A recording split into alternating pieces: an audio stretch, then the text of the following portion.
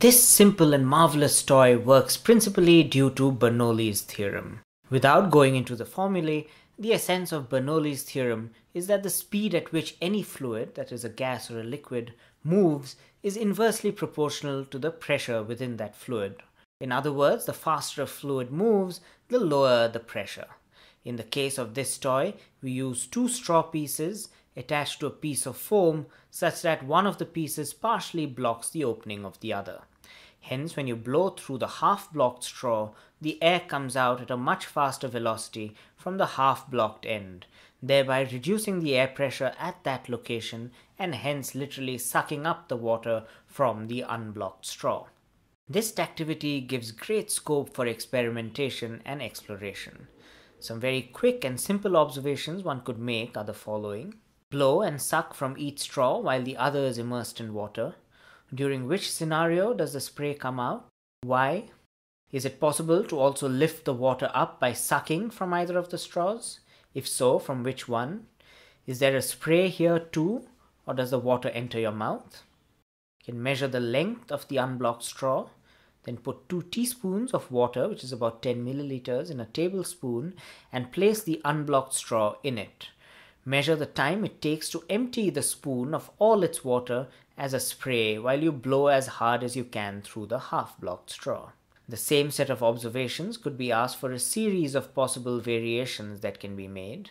Examples of some of these variations include making the same toy with longer straws, conducting the same activity with straws at different angles, that is acute and obtuse, you can make it a two-in-one toy by inserting a skewer into the foam piece such that it bisects the angle between the straws. This exactly mimics one of our other activities, which is the sprinkler model. Further, you can make it a three-in-one toy by making one of the straws whistle. Refer to our sound over activity for details of this. Make the same toy with straws of different stiffness and or gauge, for example, use fat straws or a combination of fat and thin straws.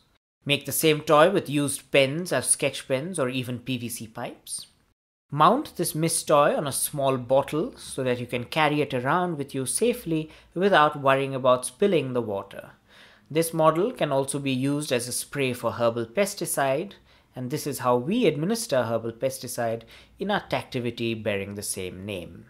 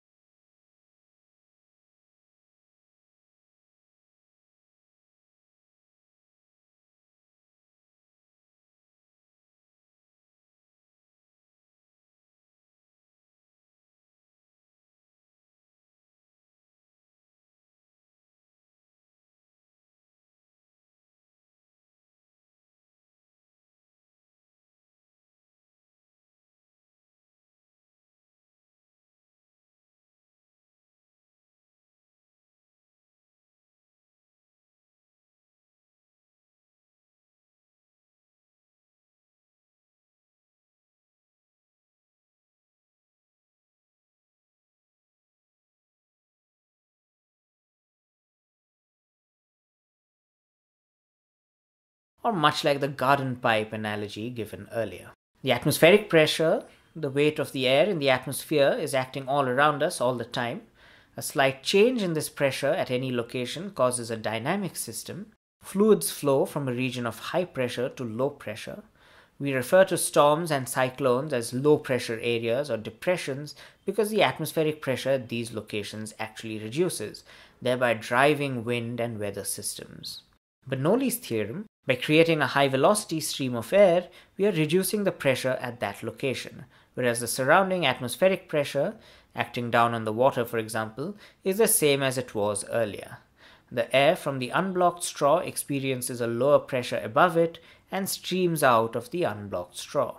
The water in the cup takes its place and continues to spray out of the unblocked submerged straw. It is split into fine droplets, like a spray, as the wind from the block straw continues to blow out. A detailed look at Bernoulli's equation impresses upon us that other forces also play a role in fluid flow, which is why most explanations of Bernoulli's principle will ask you to consider horizontal flow, so that the gravitational potential at all points throughout the flowing fluid are the same, ignore the effects of viscosity, which is fluid friction, and requires straight laminar flow, that is, without any turbulence and vortices in the fluid. In the real world, these ideal conditions are rarely experienced. However, for the purposes of our experiment and many a demonstration, these ideal conditions are a good approximation of the reality. In our case, the straw we are blowing through is horizontal. Over the length of the blowing straw, the air would encounter minimal friction, and given the diameter of the straw, there is not much scope for swirling and vortices within the flow. Eventually, it is the sudden decrease of the cross-sectional area, the constriction, that causes an increase in the speed and reduction of pressure in the air right at the junction of the straws. Bernoulli's theorem is also a principle that is ripe with misconceptions and false classroom demonstrations one has to always keep in mind that we are talking about an enclosed single laminar flow for fluid when explaining the theorem. Any demonstration that shows a paper being uplifted by blowing over it, note that the paper lifts up even when you blow under it, is a misleading interpretation of Bernoulli's principle. It is a sudden change of speed within a flowing fluid, usually caused by a constriction or widening of the flow channel that would be required to demonstrate Bernoulli's principle. The suspension of a ball above a fast flowing stream of air is also often shown as a demonstration of the principle. This too is largely misleading, although part of the reason the ball stays up may be due to Bernoulli's principle. However, it is other turbulent airflow forces that perhaps play a larger role here. Some truer classic examples of the principle are given in the next section. It may also be counterintuitive to some that an increase of speed results in a decrease of pressure. For when a fast stream of air or water hits a surface, or your body for example, we distinctly feel an increased pressure. This is true, but a completely different aspect to what we are talking about. If you try to block a fast stream of air or water, you're applying force to do so. Since the fast stream is falling on a small area, the pressure is very high. This is the pressure parallel to the flow of the fluid. It is the external pressure imparted due to the momentum of the fluid. However, Bernoulli's theorem refers to the internal pressure of the fluid, that is, the pressure encountered within the fluid or say on the walls of the straw or the pipe it is flowing through. This is a pressure acting equally in all directions imparted by the fluid and is not the same as the unidirectional pressure imparted upon impact of a flowing fluid when it encounters a surface or obstacle. Some applications. One of the reasons planes fly is because of Bernoulli's principle. The wings are shaped thus, known as an aerofoil, such that the distance air has to travel above the wings is more than what it has to travel below the wing. Hence, the air on the top of the wing moves faster than that below, causing a pressure differential, that is, lower pressure above the wing and higher pressure below the wing thereby allowing the plane to lift off.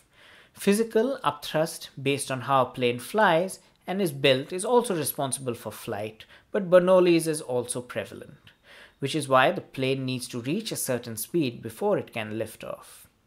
Amazingly, a cricket ball also swings, known as contrast swing, thanks to Bernoulli's principle, as a rougher side has a longer path length and so the air moves faster on the rougher side, causing a ball to swing towards that side.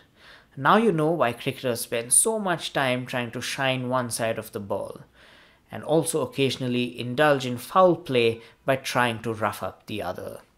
Calendar movement on the wall when a ceiling fan is switched on.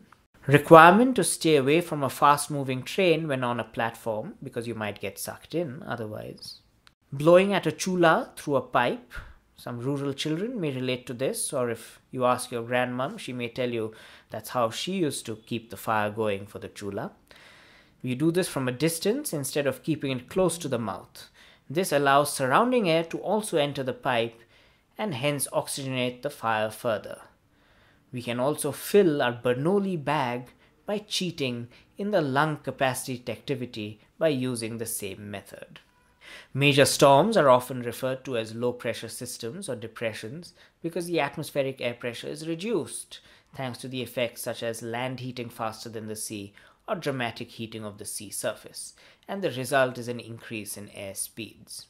We hope that you've enjoyed seeing this video, but more importantly, reveled in playing with this wonderfully simple and impressive toy. It is a activity that has enormous scope for exploration, as shown earlier, a lot of intricate and interesting science involved, and a great deal of fun to play with. Given that you have actually pumped up water using this device, you may call it your own Bernoulli pump. We are sure you'll enjoy giving people a shower or playing Holi with this toy or perhaps even use it as a hairspray before a haircut, not to mention for a fair deal of spray painting. Nevertheless, we hope you appreciate how ubiquitous flowing fluids are, what the various applications of Bernoulli's principle in our day to day lives encompass, and how certain misconceptions and counterintuitive phenomena also exist in trying to explain this very important but rather nuanced principle. Perhaps by playing and exploring with this activity more and trying to discover for yourself various examples and analogies that describe the phenomenon better, you yourself will become an expert on a principle detailed so beautifully by two Swiss men nearly 300 years ago. Goodbye.